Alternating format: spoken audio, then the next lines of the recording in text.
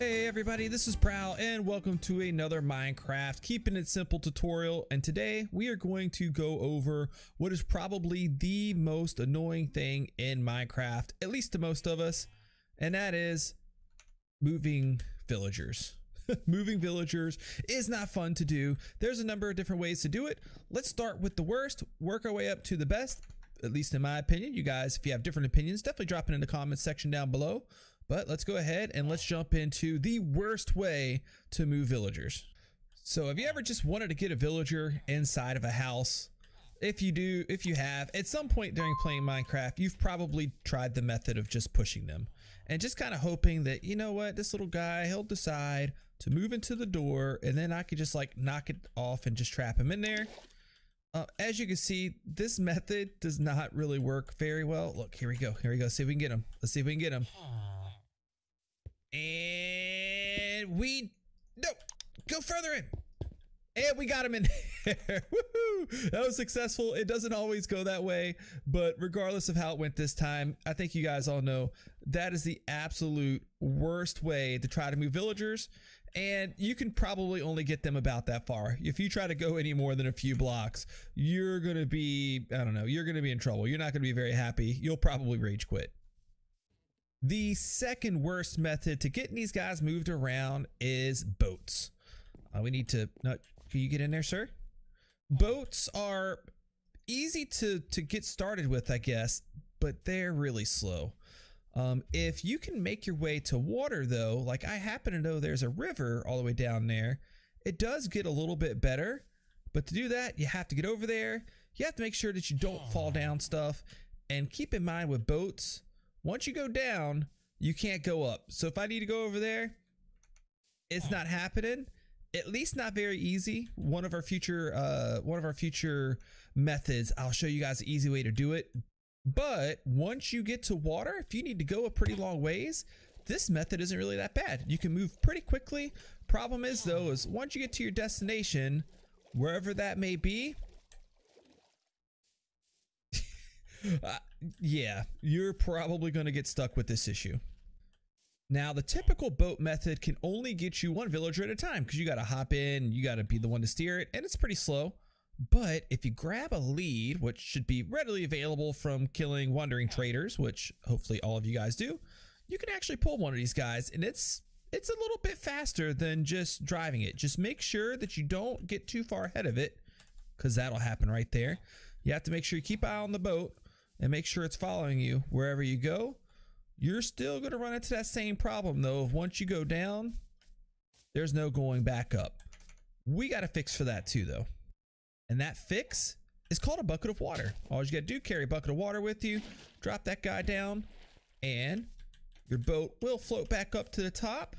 And then you'll just probably want to have a, a block with you to keep getting rid of that water or pick it back up with your bucket, whatever.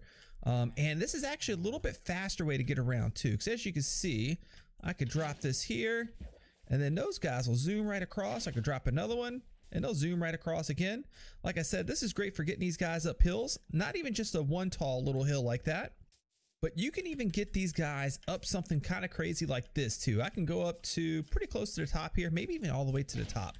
I could drop that down. Oh, look, he actually followed me up.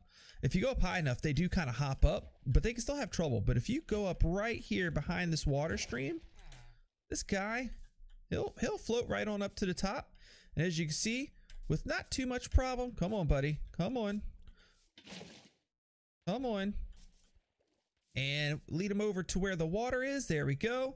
We can get him right up here. No problem at all. No problem at all. Lightly easier to move your villager around. Still, if you have to go far distance, this is probably going to take you a little while. Now this leads us to probably the most used method. If it's not, it really should be. This should probably be your go-to method for moving villagers from one location to another. And that is a mine cart. It's not too bad, although it can be a little frustrating sometimes. You need to set a minecart track down, set a minecart down, get a villager inside of it, get him on the track actually. And then we can go ahead and actually launch him off. We could put this guy right here. Let's push him back. Yeah, he's on the track now. And then now we could take this really anywhere we want to. And really, the main thing while doing this is you're going to have to have a decent amount of powered rails. Um, you can space them out a decent amount, but you don't want to space them out too far because if you do, your your your minecart's going to stop. So go through, place a couple powered rails, maybe every I don't know, probably about 15, 12 to 15 blocks or so should be fine. Um, if you're going downhill less, if you're going uphill more, and bring yourself a whole bunch of switches because these guys are going to help you out a lot. And we can go through here. We probably put down a couple more here. Yep, that should do it. And then we can go up this way like this. We're about to go up a hill, so we should probably put one or two like right here as well. And then eventually we can get to our destination. Eventually, you're probably going to get to an area that's just not easy to cross or you want to take a more direct path. So also make sure you bring yourself plenty of blocks. That way you can uh, put those down, go over top of water, or even go across like larger like paths between mountains and a lot of other things. Also, here we go. We got a pretty steep incline here. I might get us a nice boost with a whole bunch of rails. And I'll probably, as I get close to the top here, we'll, we'll throw in a couple more just to make sure that our villager can clear it. And like I just said, sometimes like if I want to get on top of that mountain, I probably don't want to go down and then try to find some way to weave back up. Instead, I'll probably actually build myself a little bridge. So I'm going to do this in creative mode, a little bit easier for me right now, but you guys can build yourself a little bridge across. And once you start getting close, like if you're going up, you probably want to do a little bit of this action right here. Just kind of staircase this guy up until you get on, oops, until you get on the same level as the ground you're trying to get to. Something like that should be good. And then we can just repeat the same process we've been doing and bring those powered rails and regular rails all the way across. And in most cases, I do recommend maybe even hopping in the minecart yourself and trying it out. Just make sure your villagers don't die or get stuck or something like that. But in this case, we're going to go ahead and we're going to take a ride with this guy. And we'll go through and make sure we get ourselves all the way down.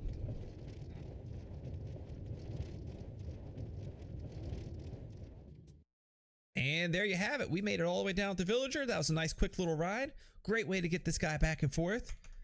But I'm not done. You may think this is the best method. And maybe it is. But I got a different method that's going to work a lot better if you can't find any villagers anywhere.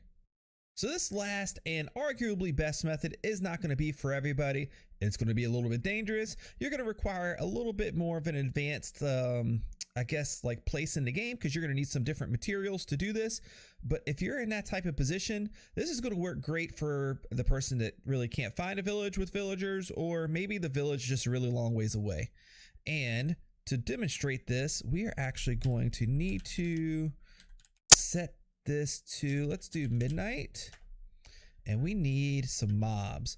Now, this will only work. Ooh, those would be really bad. Um, this would only work if you're in medium difficulty. It'll work 50% at a time. If you're in hard difficulty, this method will work 100% at a time. But we need to run around. In this case, I'm in creative mode. I'm going to stay there because I don't want to die during the tutorial. And we need to find ourselves some zombie villagers. So let's do a little bit of flying around and see if we can't get some of these guys to load in we got a group we got a group of three of these guys right now and i've actually run close enough to get them all to follow me. Now what we're going to do is we're going to pillar up three blocks high like this.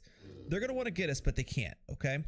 And now what we need to be able to do is we need to be able to box them in. So i'm holding shift so i don't fall and i'm putting a block right there on the second block up. And i'm going to probably do this in a kind of like big space. Move over some that way these guys can't get to me. So we got those. So we got two of them in this general area we want them to be in. Now we got three of them in there. Let's go ahead and let's move over this way a little bit. Oh, we didn't get where we wanted exactly. That's fine. Um, let's close in. Okay, we have to move them around. Let's close in this side now. Oh, looks like we got another straggler over here. That's fine. We'll kill him off if we need to. Okay, and then look, now we can start to box these guys in just like this. And look, now move back this way, like this. Perfect. Now these guys are boxed in. Nothing can happen to them, but we do not want them to despawn. If we go more than 44 blocks away from these guys, they're going to despawn. So let's see if we could throw them some blocks. Not all mobs pick up blocks. Some do, some don't. Okay, so only one of these guys took a block from us. So he is now what's called persistent. He will not despawn. These other two guys, you got a couple of options. You can either A, name tag them and they won't despawn either. So put a take get a name tag that you found somewhere in the world or traded for, uh, put it into an anvil, put a name on it, name tag them, they won't go anywhere. Or what you could do is you can just go ahead and convert these guys now. Now before I do that, one important thing before you guys do that too if you're gonna wait, if you're gonna sleep and turn to daytime, or it's about to turn daytime, really for any reason, basically, go ahead and put a roof on this because when it turns daytime, those guys are gonna they're gonna despawn or they're gonna burn up. Also, yeah, I've cheated a little bit. I put myself back into creative mode, so I don't have to worry about these guys fighting me. Um, but now that we like this guy right here, he really wants to kill me. I just looked at him. He's probably not happy. Um, now we're going to go ahead and do this now because we don't have persistency for all these guys. So let's go ahead and let's get it switched over to daytime. There we go. It's now daytime. You're going to want to probably go around and clear out all the mobs in the area, kill creepers and stuff so you don't die. And then we're just going to, we're going to close this in the rest of the way. We don't really need to, but we're going to. We're to poke a couple holes in here. That way we can see these guys. We need to see their beautiful faces because we're about to use a method of changing these guys over from zombie villagers to villagers. I will show you how to get these things, but for now, we're just to use them. We are going to throw a splash potion of weakness. And we're to feed each one of them apple, a golden apple. And then once we wait long enough, these guys will change over to villagers. And while we wait on that, let's go ahead and show you guys how to get these wonderful materials to do this. And here is the part where, again, this might be a little bit harder, but I want to show you guys how to do it because once you know how to do it, it's really not that bad, especially if you don't mind hunting down the materials. So first of all, we're going to need a couple things. We're going to need a crafting table. We're going to need a brewing stand and you're going to need a netherite block. I'm just kidding. You don't need a netherite block. You just need the brewing stand and the crafting table. Okay.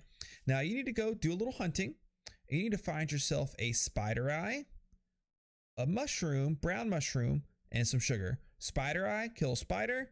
Sugar, get some sugar cane. And then the brown mushroom, they can be found anywhere in your world. Uh, usually you'll find them in wooded areas on the ground, or you can find them in the nether on the ground as well. And you're going to make a fermented spider eye.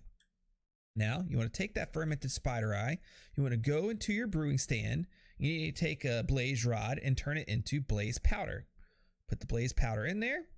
And then we need to put the spider eye up here and then the water bottle right here. And that spider eye is going to cook down, fermented spider eye is going to cook down into the water bottle, and that's going to make a potion of weakness. As you see the bars going down here, once it gets to the bottom, we'll have a potion of weakness, but we will not be done with that quite yet. It is now raining in my video. Why is it raining in my video? I don't know. Um, now we have a potion of weakness. Let's go ahead and let's change weather clear. I don't know why that happened. And thank you. All right, now that we have our potion of weakness, we can go put this back in up here at the top or down here at the bottom, I mean. And then we need to put gunpowder at the top. Now this gunpowder is going to get added into the potion of weakness and it's going to make it a splash potion of weakness. That way we can throw it at the zombie villagers to cure them. And then while we wait for that to finish, go over to your crafting table. If you haven't already found a golden apple in a chest, you just need to take a regular apple that you can get from trees. Put it in the crafting table, surround it by gold, or just pull up your crafting menu and you there have crafted yourself a golden apple. You'll need one of those for each zombie villager, but if all of your zombie villagers are together, the splash potion will work just fine because it splashes and it gets all of them. And there we go. They have changed over. They, they tried to kill each other, but they're fine. They're okay. They've changed over to villagers now. It takes about two minutes for that to happen. And there you go, guys. Villagers, they're probably the most powerful single entity in the game because there are so many things that you can do with them and that they can do for you. So I thought it was a good idea to show you guys how to move these guys around because not anybody really ever goes over that. You just kind of see it and pick it up as you go. So there's your top ways to move villagers around. If I forgot any, let me know. Or if you just have he just linked to something. Um, or if you have like some really funny, like cool, interesting ways that you've done this before, definitely hit me up on Twitter or in Discord. I like to see screenshots and or videos of that because villagers are pretty funny to be honest with you. So show me your crazy contraptions. Also, if you haven't already, click the like button, click the subscribe button, ring the bell to get notifications, all those good things that make me happy. Please, please, please. Thank you. And you guys have been great. Goodbye.